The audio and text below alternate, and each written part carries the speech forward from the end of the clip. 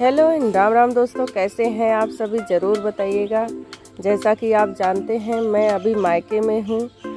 तो अभी सुबह के सात बज रहे हैं और हमारा नाश्ता बनना शुरू हो गया है। मैं नाश्ता बना रही हूँ।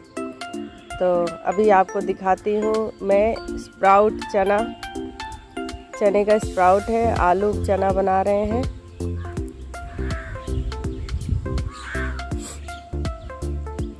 आप लोग भी इसको ट्राई करिएगा टेस्टी नाश्ता है और हेल्दी भी।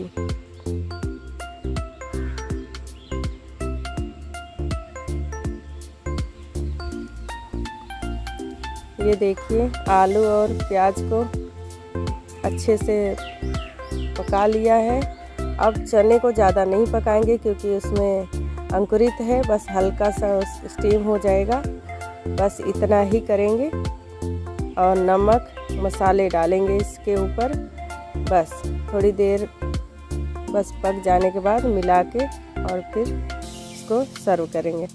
ये आप लोग भी बना के ज़रूर देखना। आज देखिए अभी हमने क्या डाल रहे हैं? हल्दी इसमें। और इसमें ऊपर ही डाल के रखेंगे नी ए, चलाएँगे नहीं पहले जिससे कि नीचे उसमें पेदी में इसके चिपके नहीं। ये देखिए हल्दी डाल दिया। ज़रा सा ये गरम मसाला है।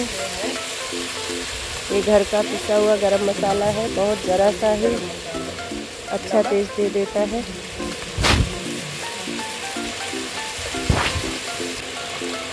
और ये थोड़ा सा जीरा और सब्ज़ी मसाला जो होता है, वही।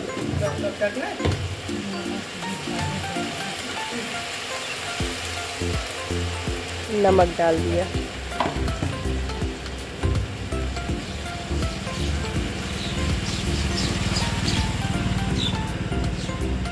ढक दिया हमने। ये इंडक्शन कितने पे? ये धीमी आँच पे इसको पकने दे रहे हैं। आइए तब तक मैं इसकी साफ़ सफ़ाई यहाँ कर लेती हूँ जो भी सामान नीचे हैं तो ऊपर कर देती हूँ।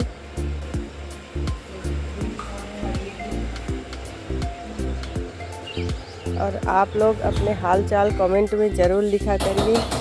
देखिए, मेरा नाश्ता बनके तैयार है। बहुत ही टेस्टी नाश्ता बना हुआ है। मेरे पा, घर के पास में एक मोर नाच रहा था। मैंने कहा, सोचा कि आप लोगों को दिखाऊँ कितना सुंदर, कितना बड़ा मोर है। बिल्कुल हेल्दी मोर है।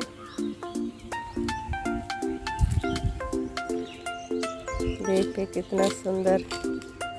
मेरी तरफ़ मुँह ही नहीं कर रहा है। बार बार कर करने उधर ही। किए जा रहा है।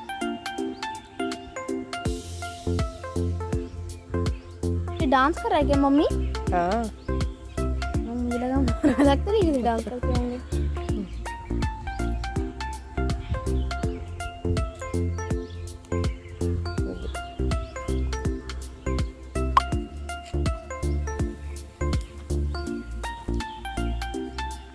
देखिए ऊपर बैठा कितना लंबा है ये। इतने बड़े पंख हैं इनके। हाँ फीमेल के पास भी पंख होते हैं ना? नहीं फीमेल के पास इतने बड़े पंख नहीं होते हैं। दूसरी तरफ़ जो मैंने दिखाया अभी ना वो सब फीमेल हैं दोनों। ये मेल है। आइए चलिए बेल तोड़ने चलते हैं तोड़ के ले आएँगे उसके बाद शरबत बना के आप लोगों को दिखाते हैं।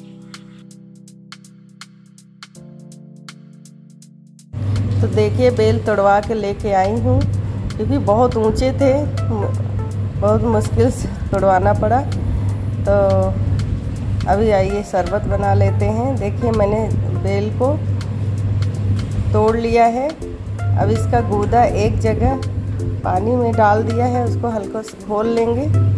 उसमें थोड़ा चीनी डाल दिया है, या फिर इस मिक्सी में चीनी डाल के पीस लें, जितनी ज़रूरत हो। और अगर किसी को डायबिटीज़ है तो भाई चीनी न डालें और इस तरीके से गूदे को स्पून से निकालें और एक जगह देखिए पानी में डाल के मैंने इसमें थोड़ा सा शुगर डाला हुआ है। अब इसको मिक्स कर लेंगे, उसको थोड़ा सा मिला लेंगे। इसके बाद इसको छान लेंगे, क्योंकि इसमें बीज होता है। और ये डायरेक्ट मिक्सर में इसको इसको अच्छे से चला लेंगे। ये बहुत अच्छा है, बिल्कुल शेक जैसा तैयार हो जाता है, खूब गाढ़ा शरबत बनता है। देखिए, इस तरीके से स्पून से निकालिए, बहुत आसानी से निकल जाता है। कुछ बेल जो हैं, थोड़े से कड़े होते हैं। उनका निकालना, आप देखिए, ये तुरंत ही एकदम आसानी से निकल गया। जो अच्छा पका होता है, बहुत आसानी से निकल जाता है। अगर कोई थोड़ा सा कच्चा रहता है, उसको निकालने में दिक्कत होती है।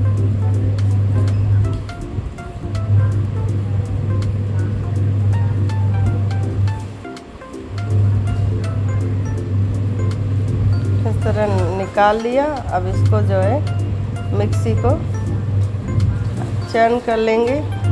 तो बारीक हो जाएगा। उसके बाद जो हम पानी में, भगोने में डाल रखा है, उसको छान के इसमें मिला लेंगे और, ठंडा बिल्कुल आप चाहें तो आइस डाल लें। ऐसे टाइम पे तो न डालें तो अच्छा है, हल्का सा ठंडा पानी भी चलेगा। टेस्टी शरबत बन के इसके बाद तैयार है। और बहुत है, आप लोग भी शरबत बनाइए और पीजिए। अपने कमेंट मेरे कमेंट बॉक्स में ज़रूर लिखिए। Thanks for watching